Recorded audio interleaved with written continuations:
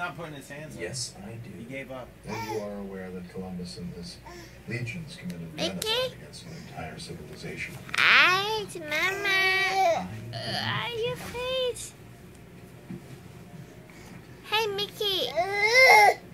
What are you doing? Hey guys. So Columbus Day, we got that half day on He Friday. just loves We attention. get that every year. He wants your We got it this year too. Pay attention.